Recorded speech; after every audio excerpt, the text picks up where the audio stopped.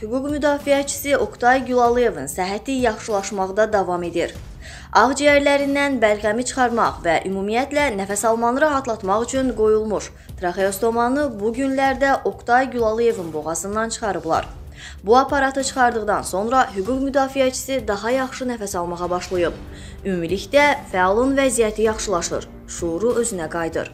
O, sualları diqqətlə dinləyir, onlara jestlərlə reaksiya verir. Bundan əlavə xəbərləri dinləyir. Oqtay Gülalıyev danışmağa da cəhd edir və traxeostomanın çıxarılması yəqin ki, nitqinin bərpasını sürətləndirəcək.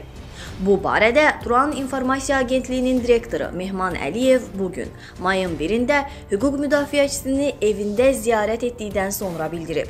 Aprelin 26-sında fəalın oğlu Təbriz Gülalıyev deyib ki, tibb bacıları mayın 1-dən hüquq müdafiəçisinin evinə gəlməyəcəklərini bildirib. Çünki 3 aydır onlara maaş verilmir. Bu məlumat yayıldıqdan sonra ictimaiyyətin mənfi reaksiyasına səbəb olub. Sosial şəbəkələrdə çoxsaylı tənqidi yazılarda öz əksini tapıb.